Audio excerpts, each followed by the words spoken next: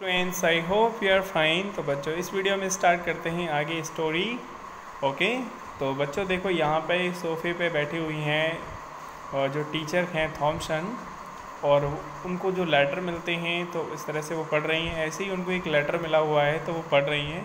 तो आगे बच्चों, क्या होता है, देखो।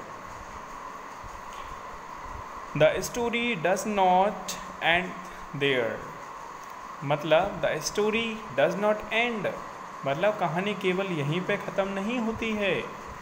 यू शी देखो आगे क्या होता है। आप देखेंगे, आप जानेंगे there was yet an another letter that spring spring S P R I N G spring spring आप जानते हो किसे कहते हैं?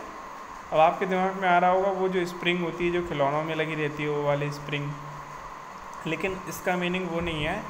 ये स्प्रिंग बच्चों, जो मौसम होता है, जो बसंत ऋतु होती है, जिसमें खूब सारे फूल खिलते हैं, है ना? ये पता है कब आती है? ये फरवरी में आती है।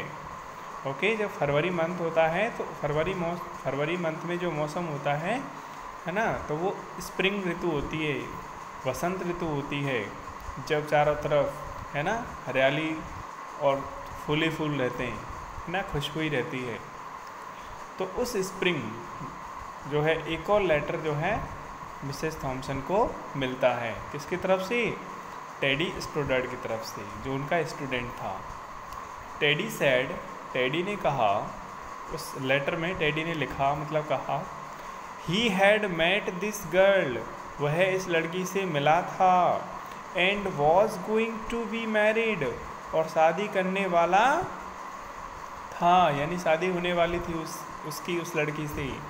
ही एक्सप्लेन्ड उसने बताया that his father died his father had died a couple of years ago यानी उसके जो फादर हैं, वो कुछ सालों पहले गुजर चुके हैं, मर चुके हैं। मर चुके थे मतलब। And he was wondering if Mrs Thompson और उसको बहुत ही अच्छा लगेगा किस से? Mrs Thompson might agree to sit at wedding in the place.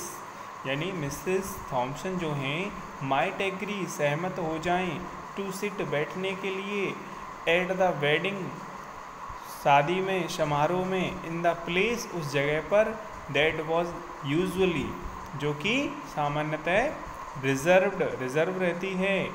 For the mother of the groom यानी जो दूल्हा होता है, लड़के जो वर होता है, उसकी माँ की बैठने के लिए जो जगह होती है, वहाँ पे मिसेस थॉमसन बैठने के लिए रेडी हो जाएँ।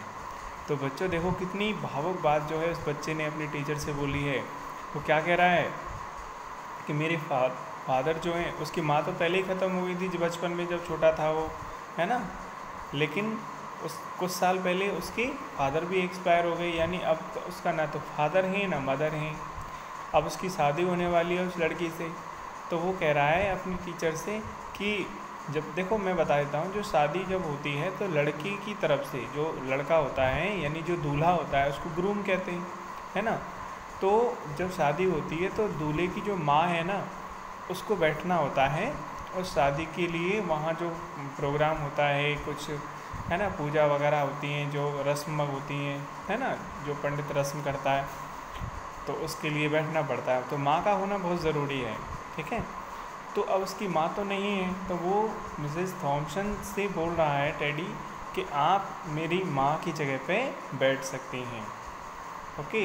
मतलब उनको कह रहा है कि अगर आप तैयार हो जाएँ तो मुझे बहुत अच्छा लगेगा। तो इस बात से बच्चों मतलब जो उसकी जो टीचर थी, उनको बहुत अच्छा लगा। है ना? इतना अच्छा लगा कि वो रोने लग गई वो। ऑफ़ कोर्स बिल्कुल श्योर पक्का, ज़रूर। क्यों नहीं? मिसिस थॉमसन डिड तो मिसिस थॉमसन ने ऐसा किया।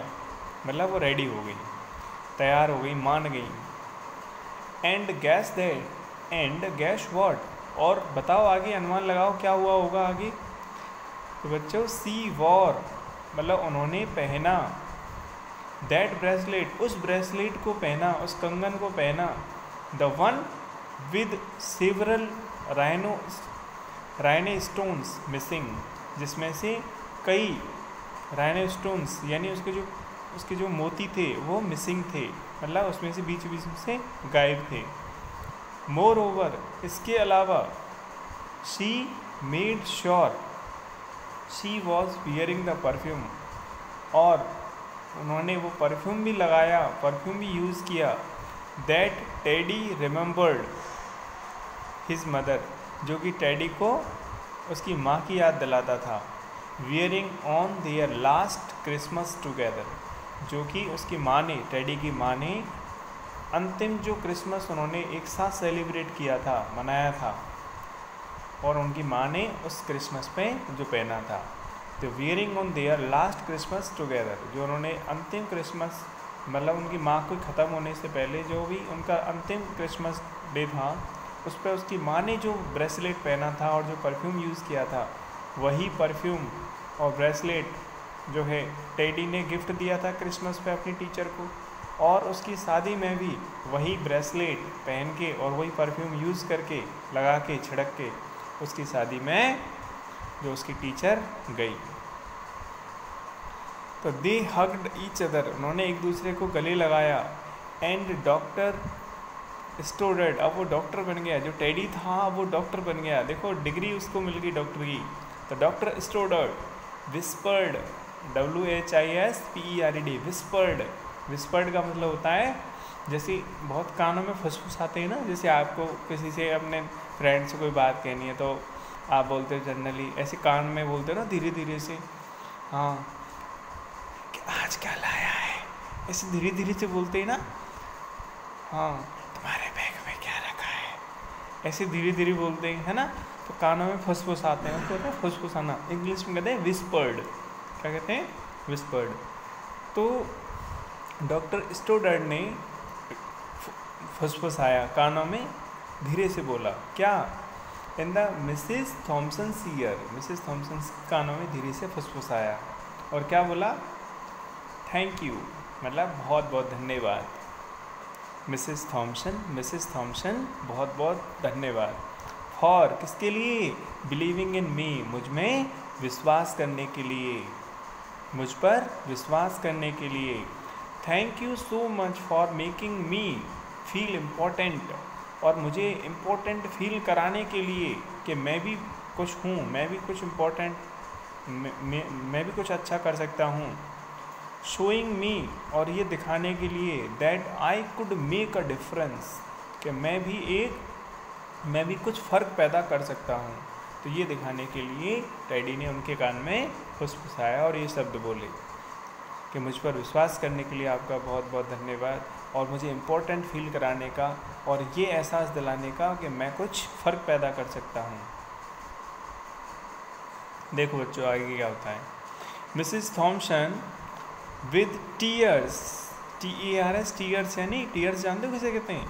आँसू जो आ जाते हैं ना आंसुओं को कहते हैं टीयर्स तो Mrs Thompson with tears in her eyes तो अपनी आँखों में आँसू लिए हुए विस्पर्ड बैक वापस से फुसफुसाया। मतलब इस बार थॉमसन ने टेडी के कानों में फुसफुसाया वापस से।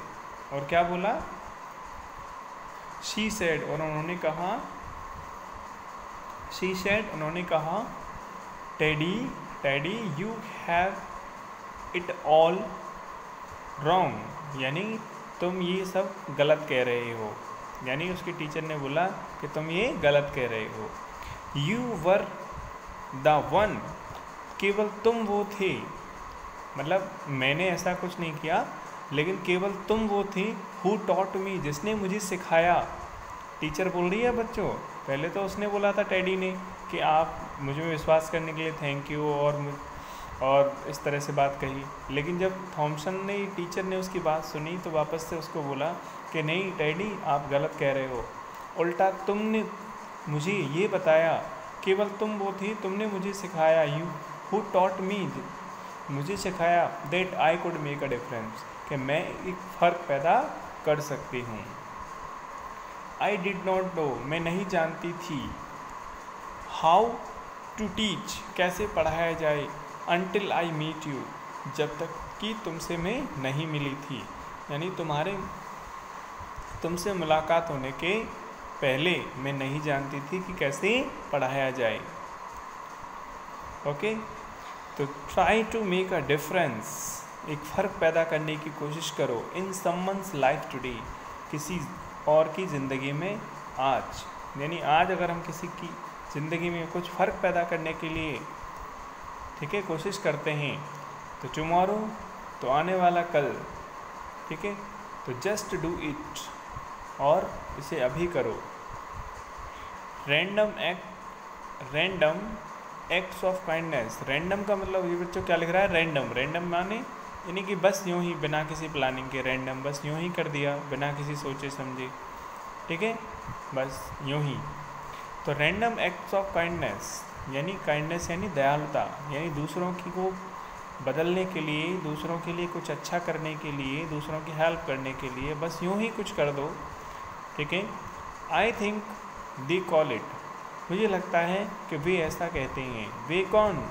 ये बच्चों, जो ईश्वर है, जो गॉड है, उसके लिए बोल रही हैं। टीचर, कि मुझे लगता है कि ईश्वर का ये कहना है कि हम दूसरों के लिए कुछ, यूँ ही कुछ कर दें, है ना? बिना किसी स्वार्थ के, निस्वार्थ के। ठीक है? बदले में हम उनसे कुछ नहीं चाहिए। ठीक है? बस यूँ ही कर दें। तो बिलीव इन एंजल्स और एंजल्स में विश्वास रखो। एंजल्स यानी यह एक तरह से गॉड के लिए ही आया है है ना? एंजल्स में विश्वास करें दे रिटर्न द फेवर वो उसका इनाम हमें देते हैं। वो उसका एहसान हमें देते हैं। ओके तो इस स्टोरी का लास्ट में ये मॉरल है कि ईश्वर, देखो, जब भी हम किसी के लिए अच्छा करते हैं तो बच्चों, देखने वाला ईश्वर होता है और गॉड अपने तरीके से उसका इनाम जो है आपको ज़रूर देता है कभी ना कभी। अगर आज हम कुछ अच्छा करते हैं तो ज़रूर ईश्वर कुछ प्लानिंग अपने आप बना लेता है उसके लिए। ओके सो स्टूडेंट्स कैसी लगी ये स्टोरी और really it's very very nice और ये टीचर जो है ये बहुत ही इम्पोर्टेंट मैसेज जो है उन्होंने दिया है सभी टीचर्स के लिए सभी स्टूडेंट्स के लिए भी। ओके okay, कि अभी अपने टीचर्स को कभी नहीं भूलना चाहिए और उनका एहसान बंद होना चाहिए। और जिनका मतलब जो भी आपको सीखने के लिए मिले उसको सीखना चाहिए। ओके फ्रेंड्स तो इसी के साथ आपका चैप्टर होता है फिनिश्ड और तो नेक्स्ट वीडियो में इसके क्वेश्चन आंसर्स देखेंगे एक्सरसाइज के। तो तब तक के लिए bye and take care and thanks for watching